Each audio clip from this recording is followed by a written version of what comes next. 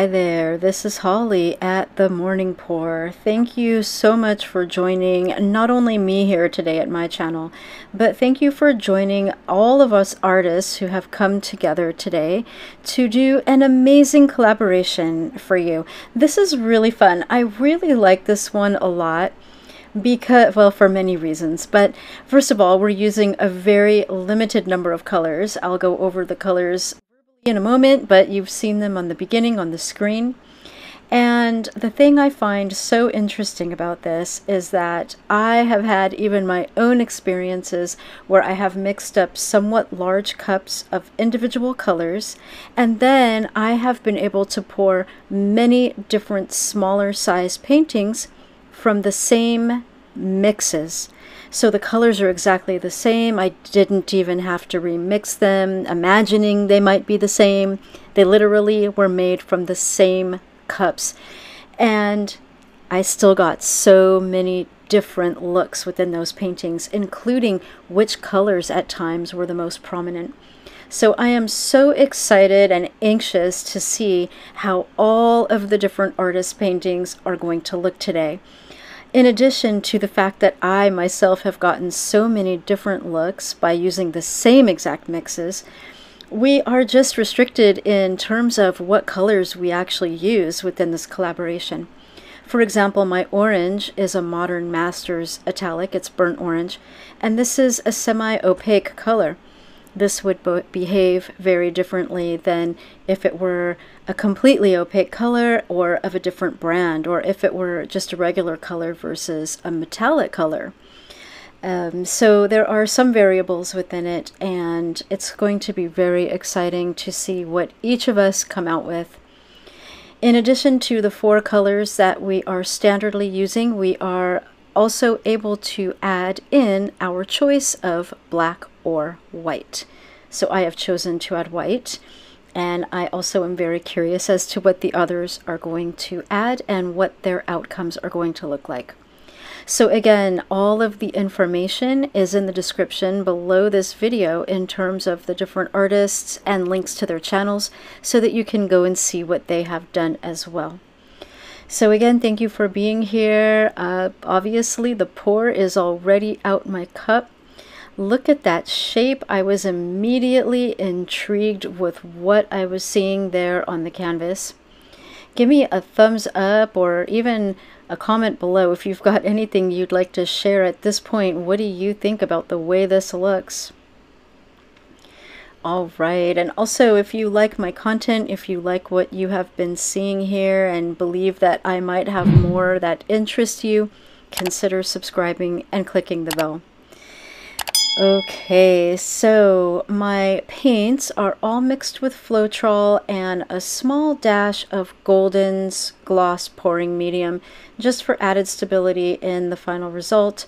The pouring medium, as far as I know, does not add to any of the reactions that you actually see within the paint. It just adds to the stability because flow Floetrol in and of itself will continue to expand a little bit as time gradually goes before it sets enough.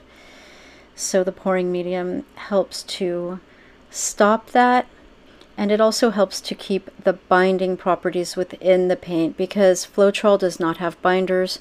If we add any water, it does not have binders.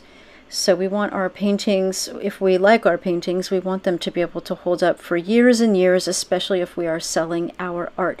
Now, I did not start adding pouring mediums to my art until very recently. It, it is an additional cost factor and I really would not add it in until you are somewhat consistently pleased with the results of your paintings.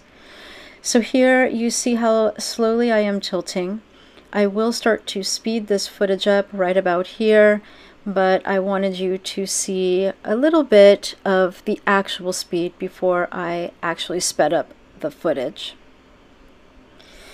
So at this point there are shapes within the painting that are holding up that I do like, but I don't really love how faded and pale the orange has become.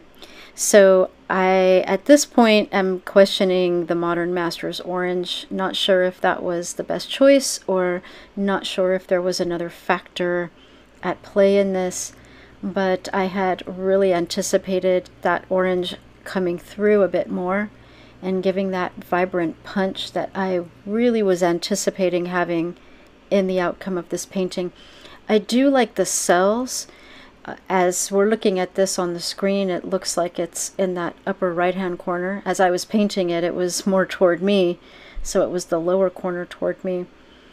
And in the bottom of the screen, as we're viewing, I like a lot of what the aqua is doing there.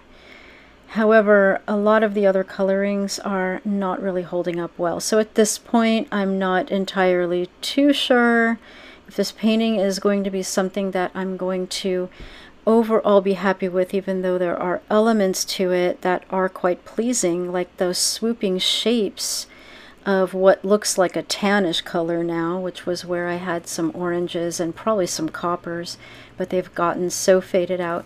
And then there's that aqua that sort of outlines those shapes. It's a beautiful sweeping shape. I absolutely love that. And I love all those cells on the outer edge.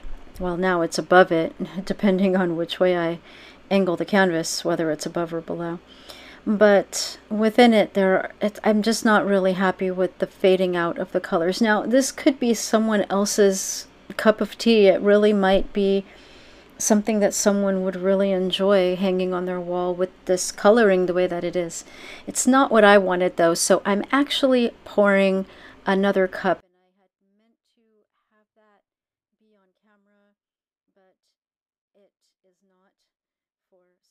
There you see I have filled up another cup. It's not filled all the way because I'm kind of planning to keep that section, which is right now looking to us like the upper right hand corner. I really like the cell formations there. And so at this point, it's my plan to keep that. But of course, when we repour, we don't really know what the color scheme is going to end up looking like and we don't really know if what is left on the canvas is really going to go with it. Sometimes it does, sometimes it does not. So at this point my aim is to keep part of what's on the canvas but I'm willing to also just go with what happens and play it as it unfolds. I was able to achieve more consistent good results with my paintings once I understood and once I was able to stay calm inside because at first for a while when I was doing acrylic pour paintings I would get a little uptight and a little bit nervous as all this paint was flowing around on the canvas. It, it sort of was startling at first what that actually felt like. And so I wasn't really staying calm and in my centered a lot of the time, and I wasn't really able to think and assess. And so, anyway, once I was able to kind of just pull myself back into myself, take a moment, breathe.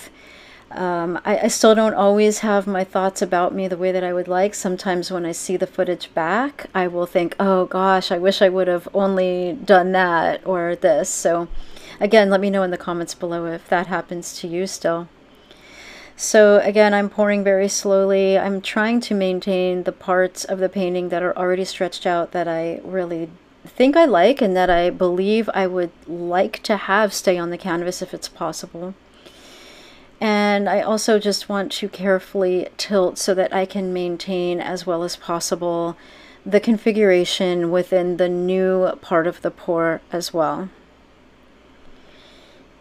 So there's a lot of things I think are very interesting happening on the canvas, but it, there's also a little bit of a two-tone type of situation going on. So at this point, I'm looking at it thinking, wow, there's elements within both sections I really like that really work for me.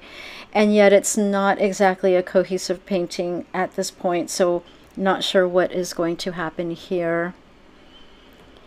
So I'm just sharing with you a little bit of my thought process and how this was unfolding on this. So there's a lot of really gorgeous larger cells opening up in that purple range over to the left. at the time I was pouring it, it was upper right, but uh, as we were seeing it before I just tilted the canvas, it was lower left. Now it's about to be upper right. So there's a lot happening up in there. A lot of really interesting shapes, cells opening up. So at this point, as you can see, I'm stretching this new part over a larger portion of the canvas. I'm very slowly choosing what I'm doing. I, I really didn't know, of course, once I poured that secondary puddle exactly what I was going to do. I'm literally going slowly, taking moments to assess and consider what's happening at each step along the way, and then making a choice from there. Where else do I want to tilt?